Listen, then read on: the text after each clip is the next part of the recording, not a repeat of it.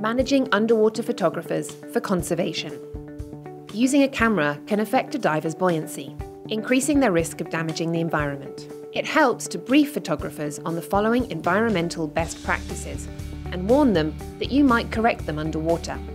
Lying on the reef or seabed while taking photographs can destroy fragile corals that have taken hundreds of years to grow. Resting equipment on the reef or holding onto coral can cause serious harm to divers, their equipment, and the coral. To protect the reef, divers should be comfortable with maintaining neutral buoyancy before taking a camera underwater. Throughout the dive, remind your divers to tuck away all of their equipment when taking photographs so that it doesn't drag along the reef and cause damage. Stop your divers from touching, moving, or manipulating marine life, as this can lead to stressed and scared animals that will swim away, leaving nothing to photograph.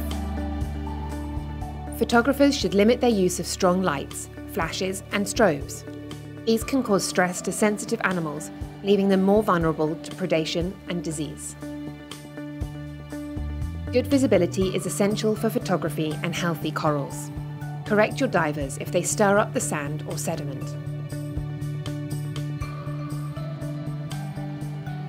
Photographers can avoid stirring the sediment by keeping their fins up and away from the seabed and frog kicking horizontally.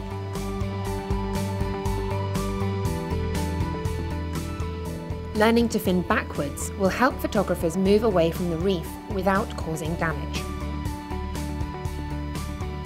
Staff should be encouraged to help photographers underwater by steadying them for a shot or even taking photos on behalf of less experienced divers.